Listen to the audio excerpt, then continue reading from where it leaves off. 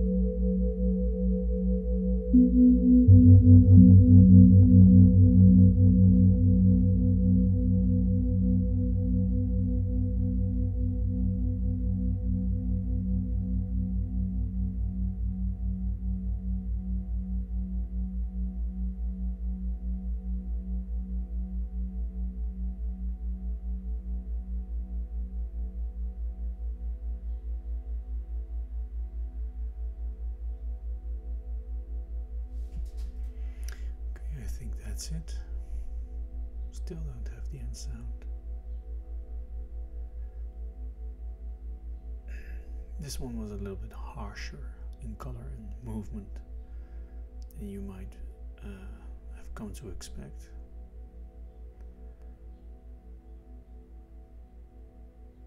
I think this is because I found meditation or just sitting with stuff without trying to understand it,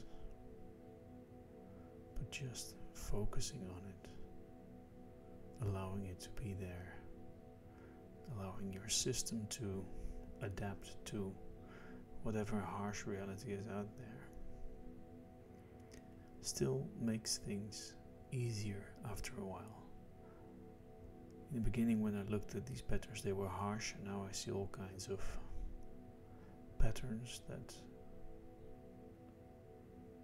help me cope with them without actually understanding them. And I think this is what happens a lot in life. You don't need to understand everything, why it's happening. That's not why we meditate. It is to allow our system time to adapt, and then we have to expose ourselves to these things that might be harsh. Anyway, like always, it doesn't matter what I think, I have no idea. Just ideas coming up. I thank you for joining in. And uh, I hope to see you next time.